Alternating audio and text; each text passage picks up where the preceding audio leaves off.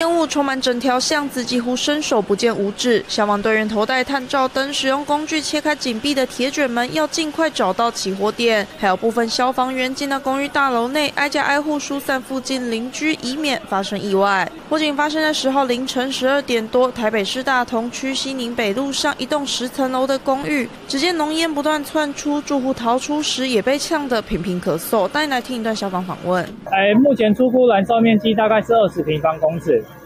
那财财务损失的部分目前还在待估。透过烟雾方向，消防队员起先怀疑是位在一楼的中药行仓库引发火势，破门后才发现并非起火点。再次进行搜索，原来是四楼首先起火。根据了解，四楼是一间公司行号，里面堆满大量衣物，却不明原因在深夜引燃。所幸这起火警没有造成任何人员伤亡。